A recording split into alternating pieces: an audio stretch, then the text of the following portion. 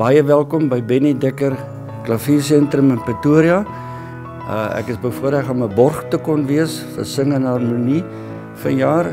Vir my was dit sing en harmonie by te woon was 'n wonderlike ervaring en daar het ek weer besef hoe is sing en harmonie betrokke by 'n by sang en waar sang weer deel is van 'n kind se opvoeding. Ek is op die vandag ouderdom van 73 is ek baie gelukkig om die pad wat ek gestap het van standaard 2 wou my uit die skool uit sit maar die juffrou het gesê nee gee hom vir my. En ek was standaard 2 3 4 en 5 by haar. En sy was Niels Bodenstein vandag Niels Leroux 86 jaar oud.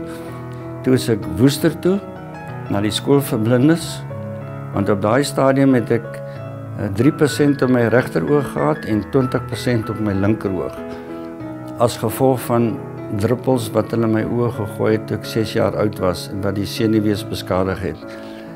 Uh in Woester wou ek staan dit 9 matriek doen maak en dan uh Londen toe gaan vir 'n fisioterapeut om dit te swat.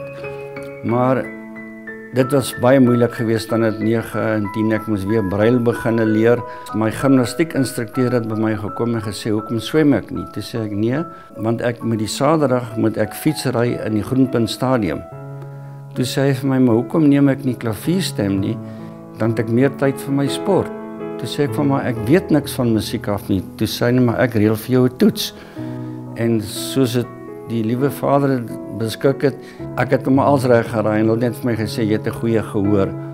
En daar begin ek met klavier stem. Hulle het baie toetse gedoen, maar hulle het net vir my gesê nee, die senuwees is beskadig, is vol gate gebrand en die gate word al groter. Uh, ek sal nie dadelik blind word nie, maar dit dit sal maar met met tyd gebeur. Ja, ek is Jan Skutte. Ek skou skuur al skouer met Benny Dekker vir meer as 40 jaar. Nie eintlik net as buurman nie, maar as 'n besonderse goeie vriend. En van hom kom ons baie praat, nie soos Jan Alleman wat jy eintlik niks oor te sê het nie, want hy's 'n totale uitskieter. Selfs sonder sy gebrek, as hy siende sou wees, is hy in my boeke uitskieter. Die sukses wat hy maak van 'n besigheid met 'n beperking van sonder sig met waardeur ons seker 80% van al die data wat ons inneem. Wat my baie geïnspireer het en my deursettingsvermoë gegee het, een koerant het eendag gesê ek sal nooit springbalklere kry nie uh, as gevolg van my oë en ek wou dit verkeerd bewys.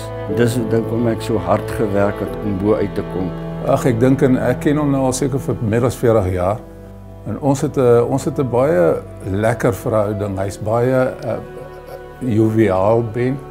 Hy het 'n baie sterk sin vir humor. Ons probeer altyd om om om hom nie as 'n as 'n blinde te hanteer nie. En hy hou daarvan. Uh, baie keer gebeur dit ook dat 'n ou nou maar grappies maak met die ou en omdat hy so sterk sin vir humor het, is hy is hy regtig 'n ou wat dit kan vat uh, as hy dit so kan doen. Mense is altyd bang vir wanneer iemand blind is hoe jy moet hom hanteer. Ek kan maar net vir die mense sê dat hulle is heeltemal normaal. Daar's niks met hulle verkeerd nie. Hy's 'n ou gentleman. Kan enige tyd op wense knoppie druk en hy sal vir jou uh uithelp met jou probleme. Saam met hom as dogter groot geword het of sy as sy dogter groot geword het was dit was 'n ervaring. Ehm um, maar ek kan sê dis 'n ervaring wat geen ander kind ooit gehad het nie. Hy het nie geskroom om enigiets saam met ons te doen nie. Dit het nie gevoel asof ons 'n pa het met 'n gebrek enigsins nie. Hy het saam met ons fiets gery, saam met ons bal gespeel. Hy was daar so sportaktiwiteite gehad het al kon hy nie sien wat daar aangaan nie, maar hy was daar vir die ondersteuning. Ehm um, so ek dink ons het 'n baie groot voorreg gehad wat geen ander kind ooit sou gehad het nie.